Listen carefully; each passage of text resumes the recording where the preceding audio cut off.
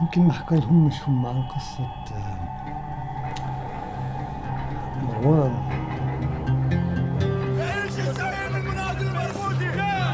Marwan was a legitimate leader. He became that symbol of the broader Palestinian resistance. And I think the Palestinians, with their hearts, with their will, can defeat this Israeli occupation in the future. If you dare take on the responsibilities and positions of leader, you are taking a tremendous risk. Here in this street, it was the first time my father's uh, car was hit. They tried to assassinate him.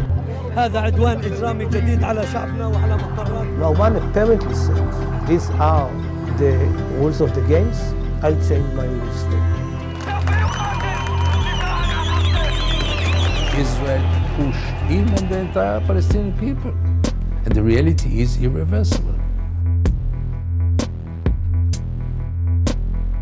The Israel succeeded to arrest my body, but not my soul. He is a terrorist and he is murdered. Everybody in this will know that Marwan Barghouti is fighting for peace.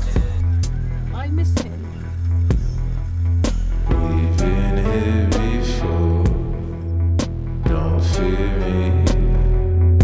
father sent me a letter. He said that he's thinking of a huge hunger strike.